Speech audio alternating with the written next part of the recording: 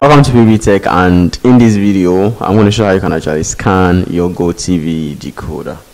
So all you got to do is to pick up your GoTV remote and you press on the GoTV logo that's the green button on your GoTV remote so. You press on it that's the menu button as well so.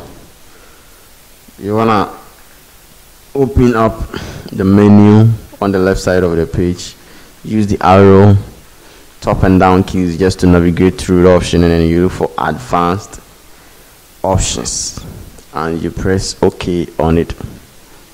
So from this page you have installation signal information you have information about the decoder you have the tv installation decoder upgrade and usage monitoring so you come to the first option and you press OK on it, which is the installation.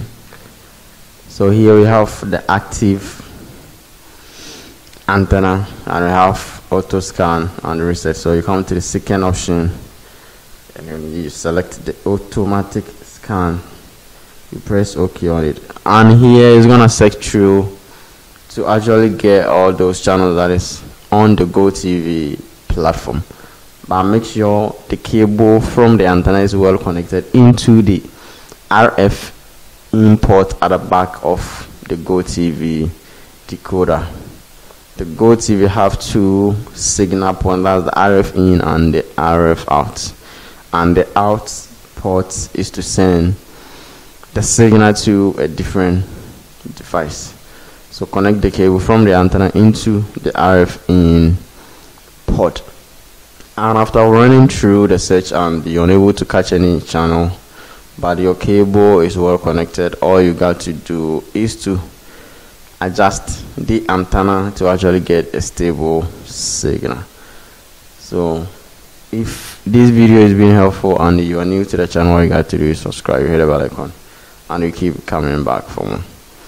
So here after you are done with the search all you got to do is to press on the tv button on the remote and you press on the arrow keys either top or the down key for the list of channel to actually show up on the screen and then use the arrow top and down just to move through the channels and then you select a particular channel which is on your package and to check whether it's working. And if it's a new decoder that you perform the search to. All you got to do is to activate by calling MultiChoice office for the necessary activation.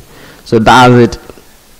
If you find this video helpful all you got to do subscribe hit the bell icon and you keep coming back for more. Thanks for watching